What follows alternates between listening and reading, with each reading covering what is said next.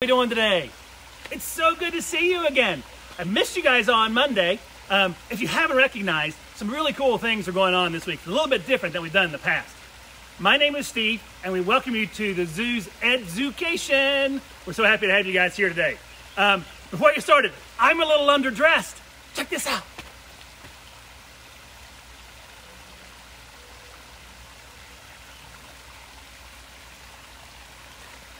Wait, I'm not done yet. Ready? Come here. Come here. Do, do, do.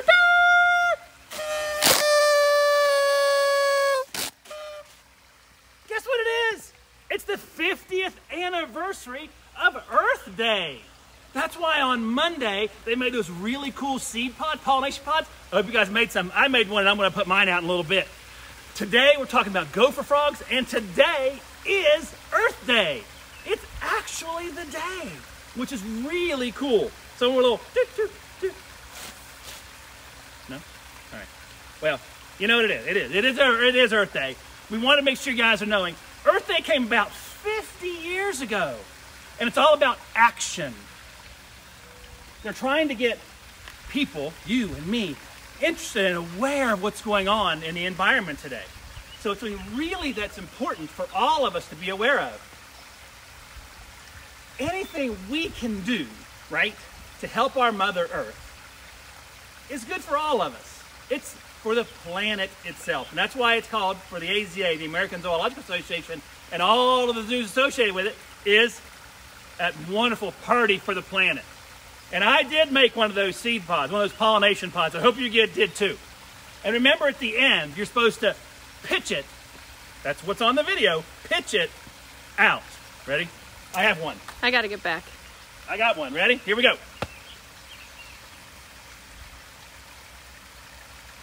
I love this. Ready? I'm ready. You ready? Okay. Oh, uh, um, Steve, That was a strike. I, I think pitch was like, you know, a descripting word. I don't think you had to pitch it. Like, I know you were in the College World Series in like 1948. no, no, no, no, no. 19, couple, years. 1986 when we won it all. Thank you. I think a, I think a better way for kids to do is maybe a, nice toss into the yard. Or kind of. there you go. Yeah, yeah. It's safer that way. Sorry, guys. All right, so got a little carried away there with the pitch. I saw the word pitch. I had to pitch. Anyway, come on over here. One of the things we're going to do is talk to you today, today about frogs, and the gopher frog in particular, which is really an important animal. The North Carolina Zoo is very active in conserving the gopher frog.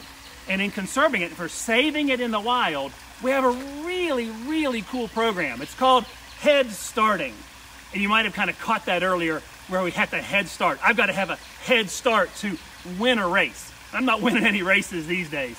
Um, but for the gopher frogs and for a couple other animals, but the gopher frog primarily here at the North Carolina Zoo is an animal that we're head starting, giving it an advantage, putting it ahead of something else. Check this out. I have some pictures, and I do have a gopher frog to share with you in a little bit. But I wanted to show you this, and I'll show you what the adult frogs look like. Check that out. So our team, Dustin Smith, Chris Shuff, Audrey Williams, a lot of other folks, go out and they collect parts of egg masses from the sand hills of North Carolina. Not the entire egg mass. You don't want to take everything. So they take some of that egg mass, and these are gopher frog eggs. They bring them back to the zoo. That's the head start.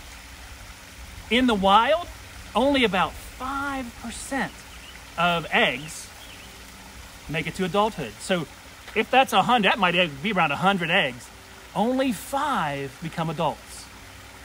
At the zoo, we're able to head start them, give them a head start.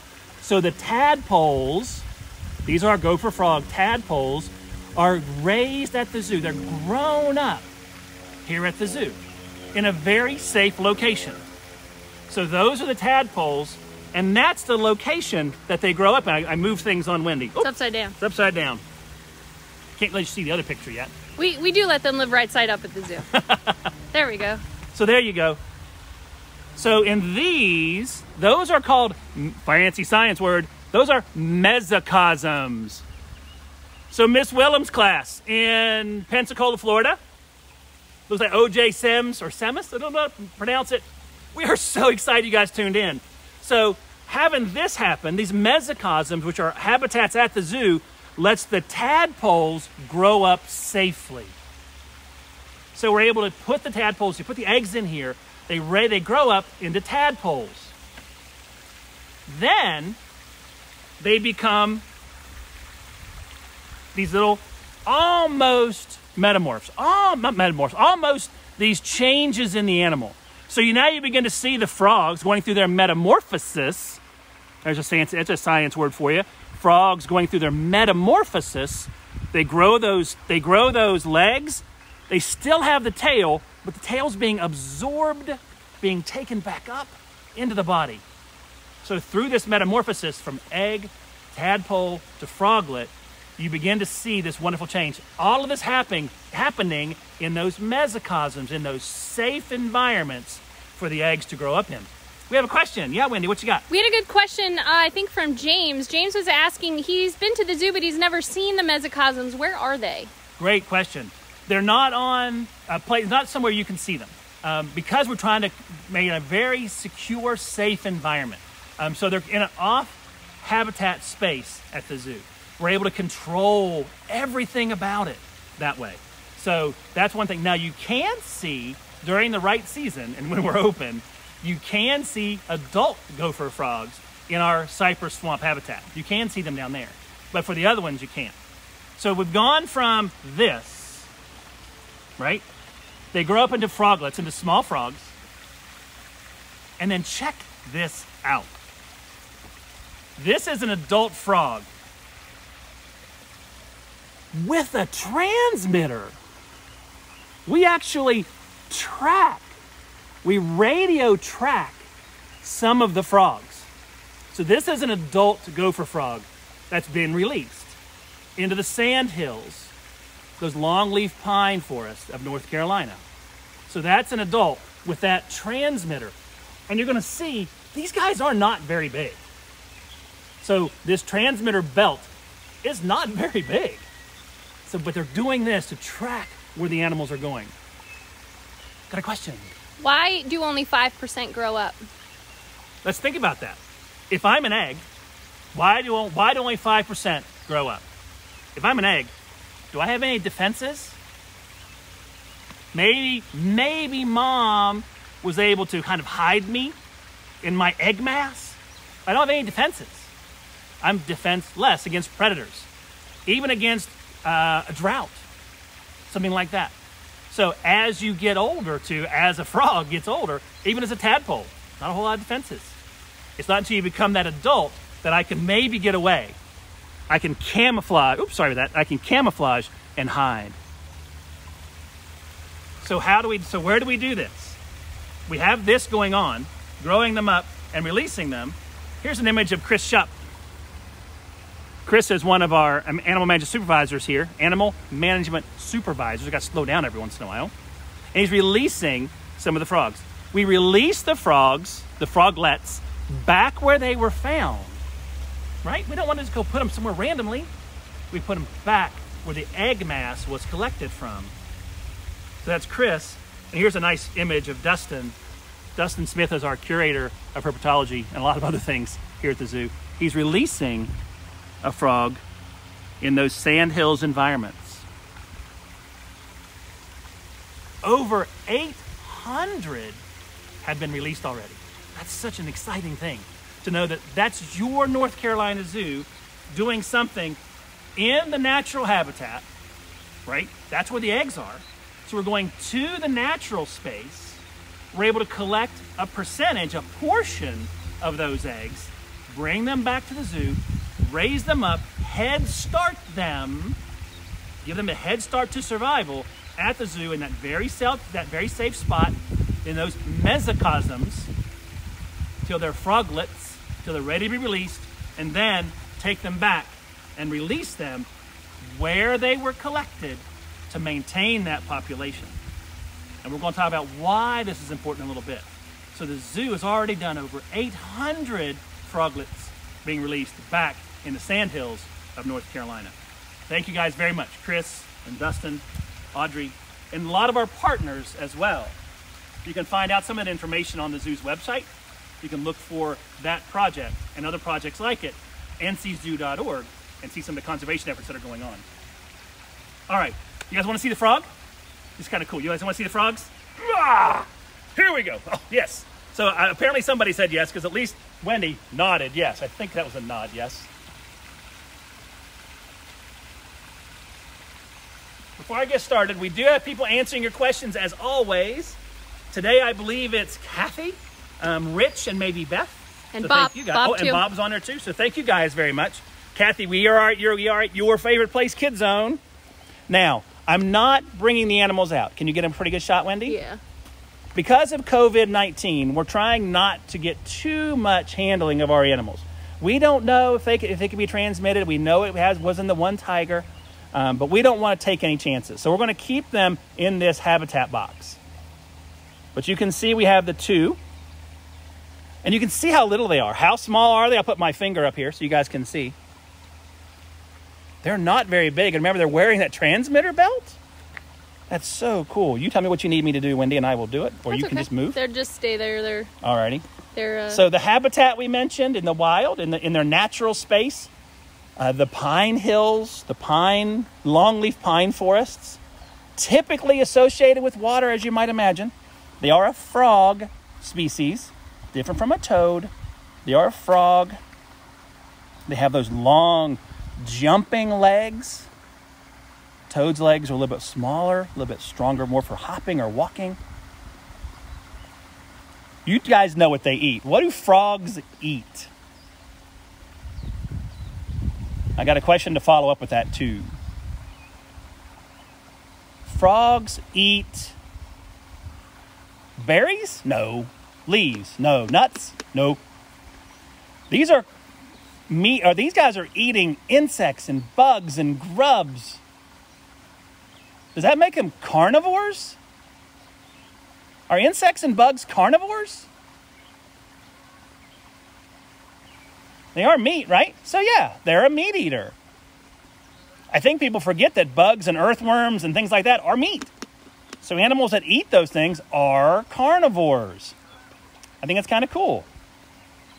The Carolina gopher frog is a threatened species in North Carolina. There's not very many. That's one of the main reasons that the zoo is active in saving these guys in their natural spaces. It's a threatened species. What's threatening them? Well, same thing as threatening a lot of animals, and I'm sure you guys, if you thought about it for heartbeats, you could think about it. Habitat loss, so they are losing that longleaf pine habitat. They're losing that aquatic, that water space. That's where the breeding is going on.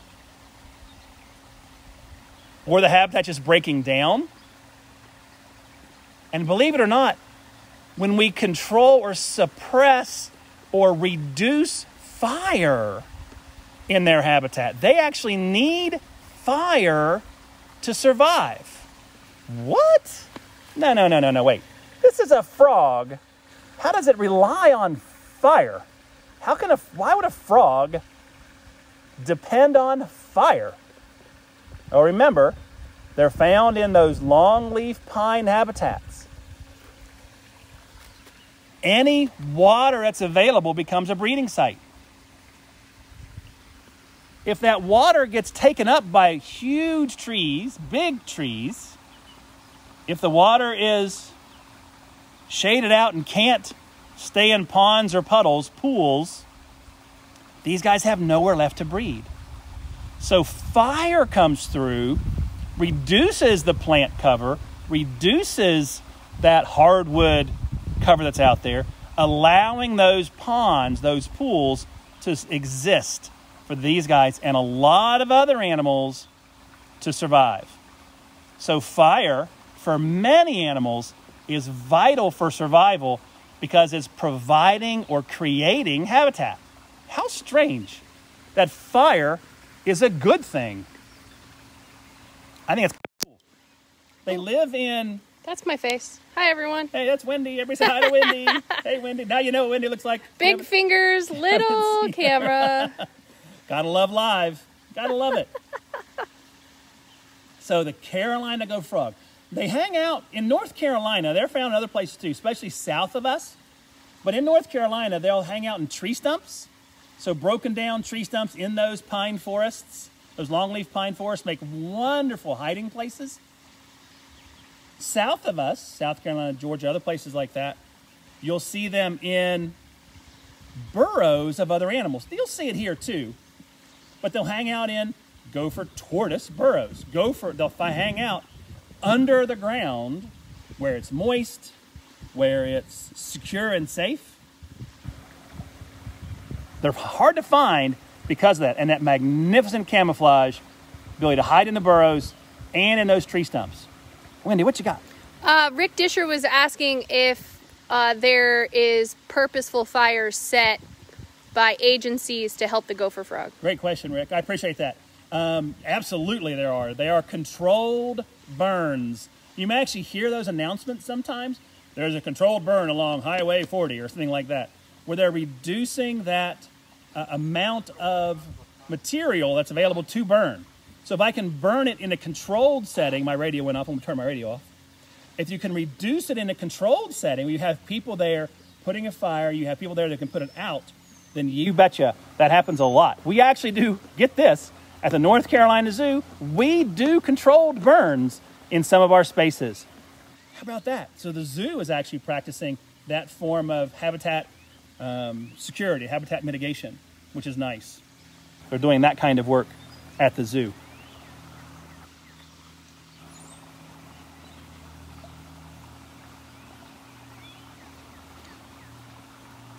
I want to talk to you a little bit about another need these guys have.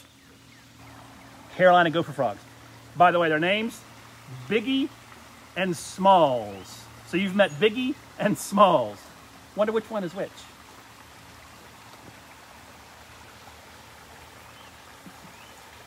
A little quick shout out to Natalie and Amy taking care of our animal ambassadors. Hannah and April as well, taking care of our animal ambassadors. Natalie and Amy got us all set up with Biggie and Smalls today, so thank you guys very much.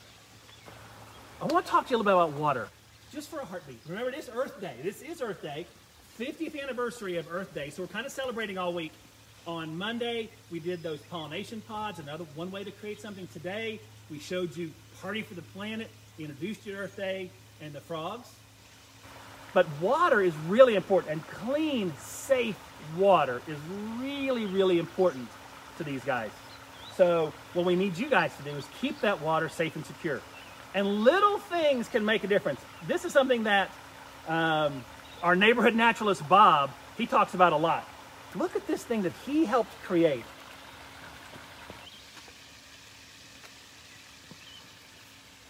Look at this.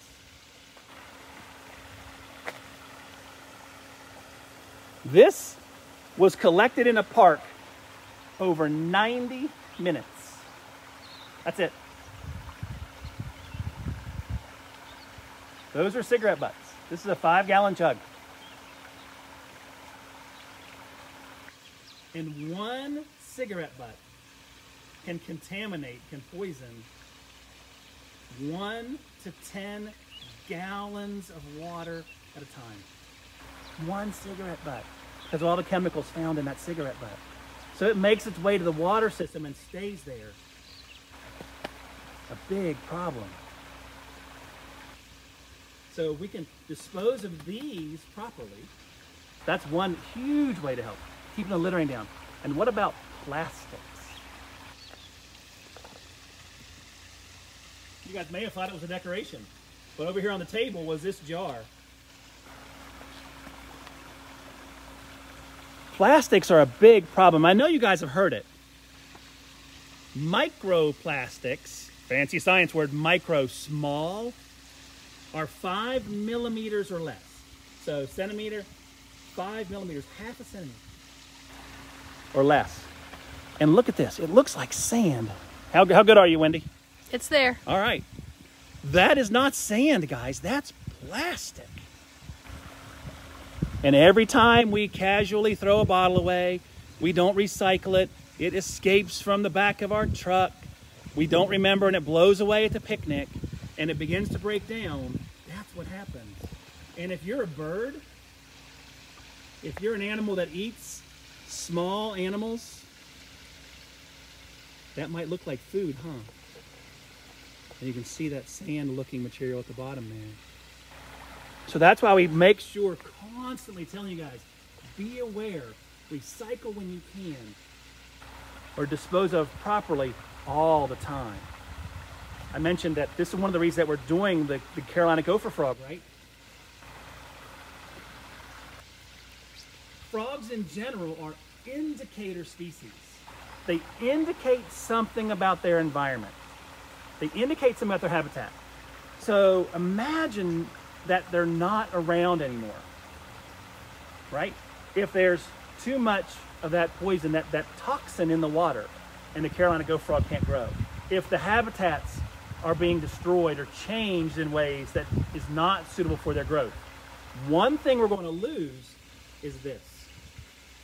I need a little bit of help. Come to glasses again. I love somebody's last time said, Where'd Steve go?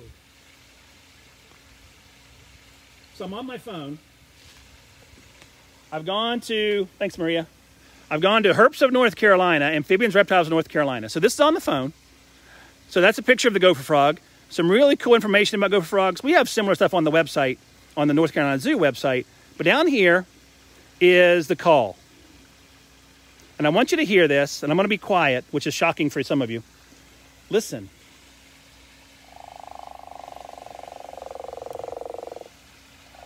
I'll do it this way so you can see something better than the back of the camera.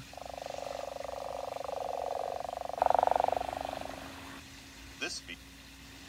So, without the gopher frog, that call goes away. The spring peepers go away. Those animals that are indicating something about our environment, the, their presence tells us something about the environment. Having them there is a positive indicator. And when they're gone, when we don't see them as often, then we have that little bit of a negative indicator to the habitat space itself. Something that a lot of people are engaged with around this are, are volunteers. Whoop whoop! A lot of volunteers are helping out in so many ways. And guys, we miss you at the zoo. We miss our volunteers at the North Carolina Zoo. A big shout out to the North Carolina Zoo volunteers. It is National Volunteer Week. So a big shout out to our North Carolina Zoo volunteers and any of you that are volunteering your precious time with an organization near and dear to your heart. We truly appreciate all of that time. But for our volunteers at the North Carolina Zoo, we do miss you. We cannot wait to see you again. And we will see you again. And we know it'll happen but not soon enough, right? We do appreciate you guys. We love our volunteers, and all of you guys are tuning in. We volunteer. We appreciate you guys as well. All about Earth Day, all about Earth Week. Gopher frogs. We have a couple crafts to share with you. I'll tell you what, Nikki working hard on these crafts, huh? And these are special crafts, Steve. These are special crafts? Yes, because when we talk about reducing plastic in our Right. homes, Yep, this is a perfect way to reduce plastic. I didn't even put that together. Yep, wait till you see. Nice. Let's go with these ones in the back first. Check this out. Ah. If you go to the North Carolina Zoo's Facebook page, navigate through Adventures in Education, you'll find the write-ups for these. So the Zoo's Facebook page, Adventures in Zoo Education, in Education, sorry, you'll find the crafts. Now these, check it out. It's a two liter bottle that was cut and then simply decorated. Top half can be recycled. You draw a pattern on here, cut out the pattern, and you create the, the little frog and rabbit. How cool would that be with some flowers in it maybe at Easter? I think it's kind of cool. So that craft is on that, that Facebook page. Thank you very much, Nikki.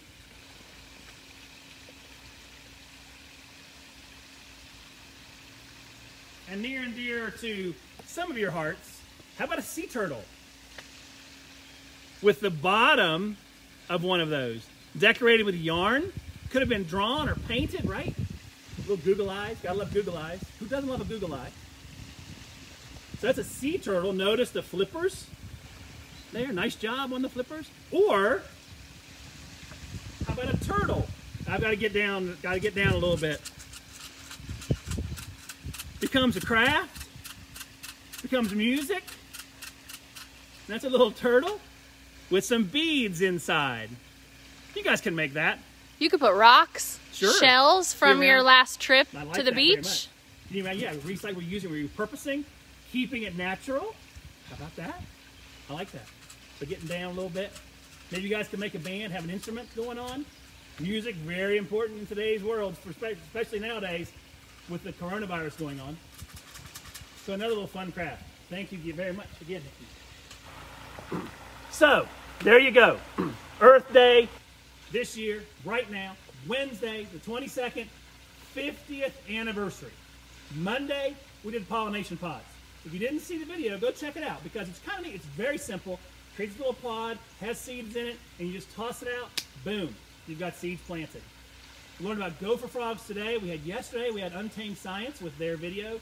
We saw some today, learned about them a little bit. Um, we have on Friday, Leslie is coming back. Leslie's going to be with us on Mon- on Friday. She's going to come talk about a really cool trip she took to a far north place to see a very special type of animal. She's going to tell you about her trip, what she learned, the culture of the area, and just some really neat things that she uncovered on her trip. I'm not going to tell you where it was. I've been there. I was lucky enough to go too, but she'll be there. Wendy and I will be online answering your questions that day. So sometimes Leslie answers our questions, other people.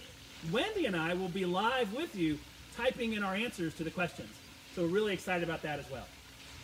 I hope you learned about something today. Hope you learned about the frogs, learned about something. That was kind of silly. You learned about the gopher frogs. You learned about things you can do, uh, a couple things, activities you can take part in. You learned about Earth Day and the importance of Earth Day, and the fact that college I went to went to the World Series in 1986 and, and, and won it all. So that was your fault. Why don't you give your college a shout out? Marietta College, woo woo! Gotta love it. Thank you guys so much for tuning in. It's so happy to see you guys as we as we can.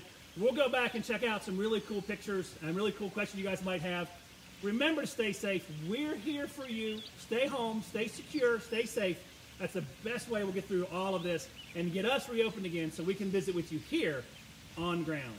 Thanks again. Stay safe. We'll see you soon. Monday, Wednesdays, and Fridays. Bye, guys.